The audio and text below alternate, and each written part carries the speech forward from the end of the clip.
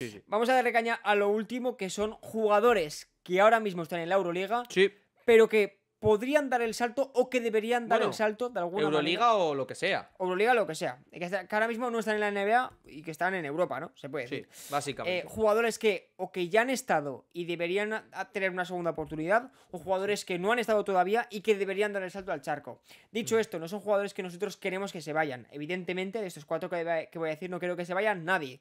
Porque el juego en Europa me gusta mucho verles Sí. aquí. Y en la Euroliga y en, y en la NBA, pues quizás no tendrían tanto protagonismo. Pero sí que es verdad que para su carrera, a lo mejor les vendría bien probar otra vez. sí, O no, no. eh, por primera vez.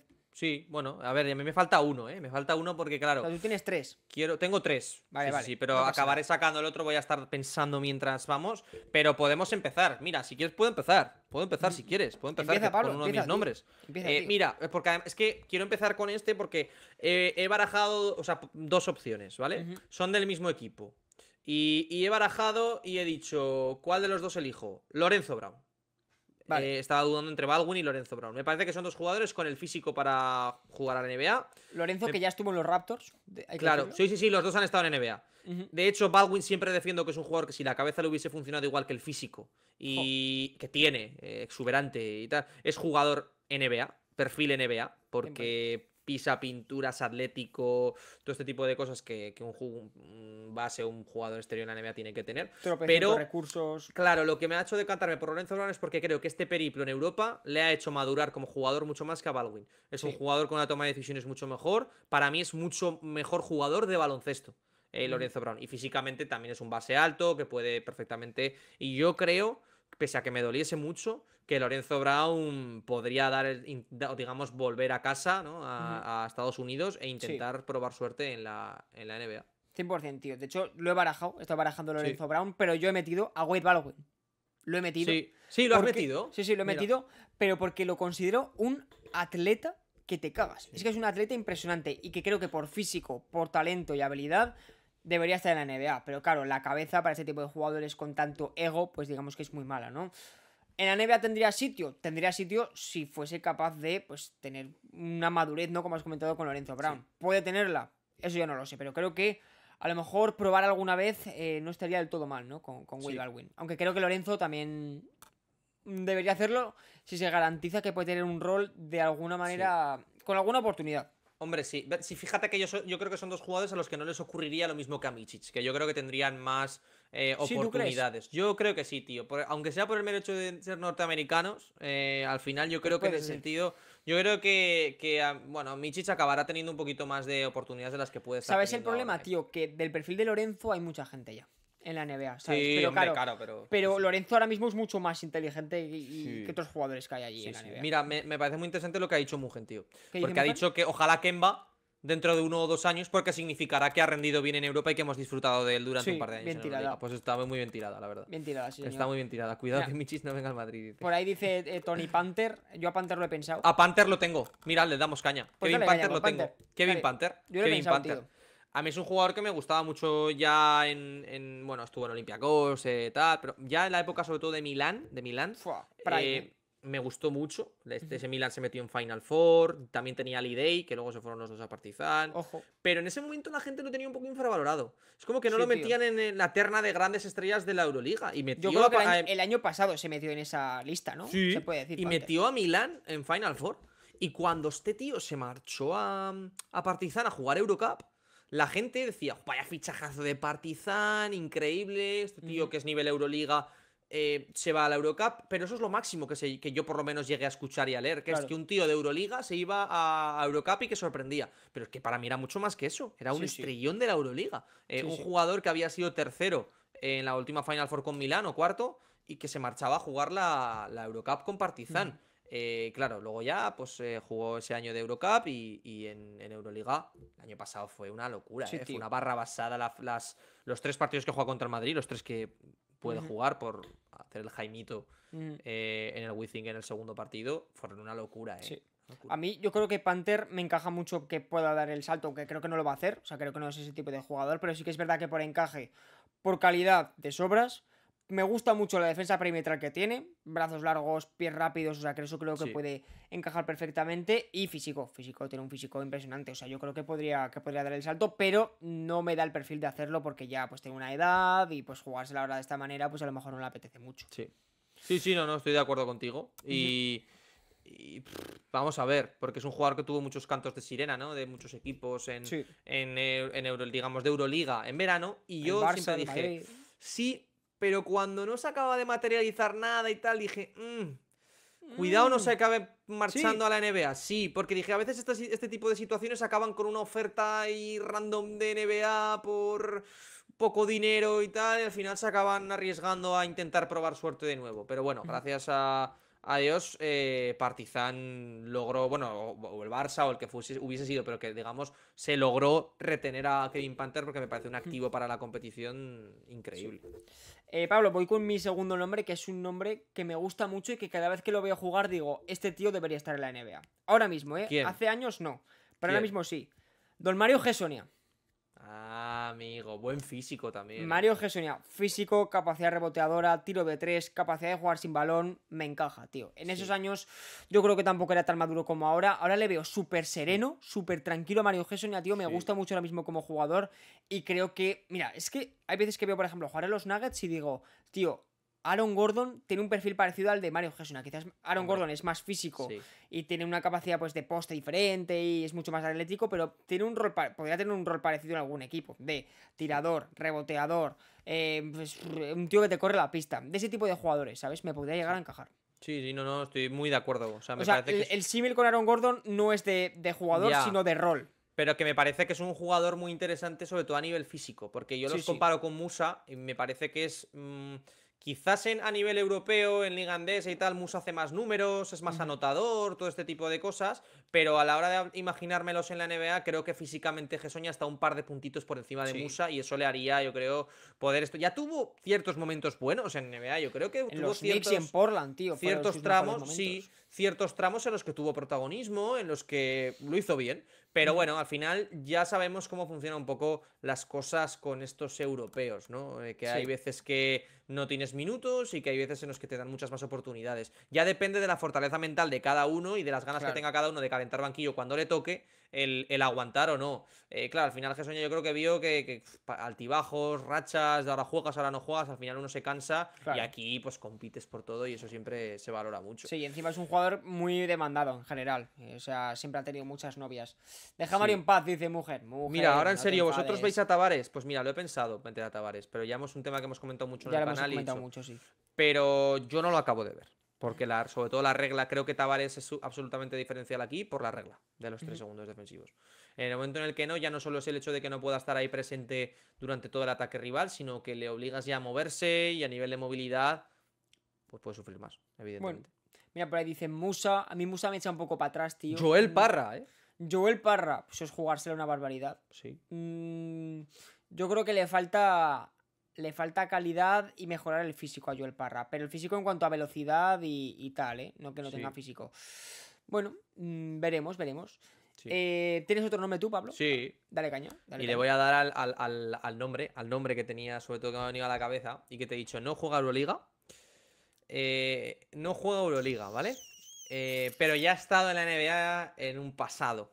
¿Quién crees que es? Que has dicho, sé quién es. ¿Quién crees que es? Jalil Okafor. No, ¡Oh! ¡Oh! no, no. Pues me sorprendes, la verdad. Juega en la Liga Endesa. En un equipo de Eurocup. Para mí, por físico, por cualidades. Me recuerda un poco al caso de Fontecchio cuando se marchó de Basconia a la NBA. Es un jugador que ya estuvo en su día en los Dallas Mavericks. Para mí, Nico Brusino ¡Hostias! es un jugador que por físico, un jugador de esa envergadura, con esos brazos, esa capacidad de desplazarse lateralmente, esos, ese, ese tiro de tres, esa mano que tiene, que yo creo que tal, también eh, es capaz de pisar pintura y penetrar a canasta. Si mejora un poquito lo que decimos siempre de la regularidad y un poquito la toma de decisiones, ¿eh? a la hora de, de dividir la pintura y doblar, eh, jugando el bloqueo directo, también lo puede jugar él como manejador. Yo personalmente creo que es un jugador que podría, tío. Por condiciones físicas podría. Hostia, pues no me lo esperaba, ¿eh? Pero, pero Sí, tío. podría pegar. alero Sí, grande, de hecho ya tirador. estuvo en su día, en su día estuvo, o sea, en que algo estuvo- le vieron. Estuvo en los Spurs, ¿no? No, eh, sí, en los maps. Creo, en los en Spurs y en los estuvo maps, tío. Me parece que estuvo en esos dos, ¿eh? Eh, sí. Pues la verdad que no lo había pensado y podría ser, ¿eh? Pero claro, lo que has ser. dicho, la regularidad y tal. Hombre, sí, sí, Lo que, sí, sí. para poder dar ese salto tiene que convertirse en un estrellón de Europa. Y para eso le queda todavía, ¿no? Sí, Esa es la bueno, cosa. no- sí. Le quedaría dar el salto a la Euroliga, a la Euroliga y ser un jugador sólido en Sí, Euroliga, ¿no? Básicamente, Titular. básicamente. equipo, A mí es que me importante. sorprende, ¿eh? Me sorprende que Valencia, que hizo varios fichajes así, Cassius Robertson y tal, ¿no? Que digamos que además de picar un poquito en Milán con Brandon Davis, ¿no? Pues también se fue a Eurocup con Touré, se fue a Obradoiro con Cassius. Dije, Sí, sí. me sorprende mucho, bueno, o, o intentó Calgay del, del Juventud, me sorprendió mucho que no intentase un jugador como Brusino. Me O el parecía que era una Baskonia, pieza tío. más que se interesante. va a el propio tío, Baskonia. y pillas a sí. Brusino, no sé. Sí, Sí, que sorprendió, sí. Eh, Pablo, voy a ir ahora con un jugador que quizás es más esperado en esta lista para terminar con uno que no te esperas ni de coña. Pero No. ni de coña, ¿eh? No, no, o sea, ni en tus libros está. Imposible. no está.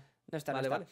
Este tercero ya lo hemos comentado alguna vez, que es eh, Darius Thompson. Darius Thompson, Vale. ya hemos comentado que por eh, cualidades base organizador que te hace de todo, defiende, corre, puede tirar de tres, eh, súper inteligente, para la NBA me parecería que ni pintado, la verdad. Lo único que ya, de poder irse, podría hacerlo, porque es joven todavía, todavía tiene margen de convertirse en una estrella de la Euroliga si no lo es ya, y podría encajar, la verdad, Sí, podría la encajar. verdad que sí, la verdad que sí. O sea, yo siempre he pensado, eh, yo siempre valoro mucho, ya lo he dicho con Brusino, lo he dicho con más jugadores, pero el aspecto físico. O sea, y al final Darius es un jugador, un base con brazos muy largos, con envergadura por encima, digamos, de la media de su posición, que muy bueno, digamos, en cuanto a templanza, ¿no? De, de- de dirigir el juego, pero también es anotador, tiene buena mano. Sí que pienso que es un jugador que, que podría tener cierto hueco en la NBA, Sí. aunque eh, es americano, pero me recuerda mucho a Michic, tío, o Sí, jugadores tío. de este estilo. O sea, y claro, ahora- mi- lo de Michic puede sentar un precedente peligroso. Peligrosísimo, me da un miedo, tío. Además, me parece que lo, lo escuché en, en Basket News, una de estas tertulias, que decían que es determinante para la Euroliga que este tipo de, ju- de jugadores rindan. Es que para, ha sido para que se- dominante en los últimos para años, que, Michic. eh, en el exterior, en América, se tome en serio la Euroliga. De que vengan aquí, pues que venga aquí el M- un dos veces MVP o un MVP como Bezenkov y que sea la leche en la NBA. Pues si no sienten un precedente, es peligroso para el tío. valor internacional de esta liga. Sí, mira, yo. Es que el cuarto nombre, tío. ¿Sabes lo que me pide el cuerpo? A ver. Pero no lo voy a poner porque sé que es imposible ya.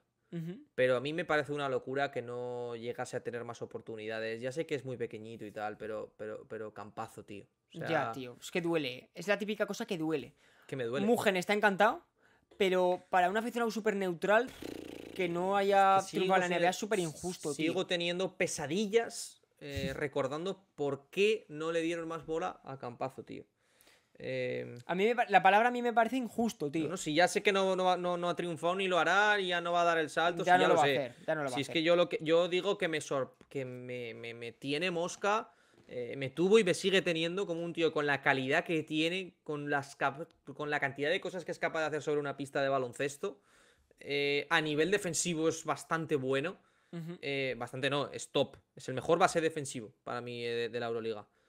Eh, no tuviese Sin casi contar a. Satoransky y tal por tema físico, ¿no?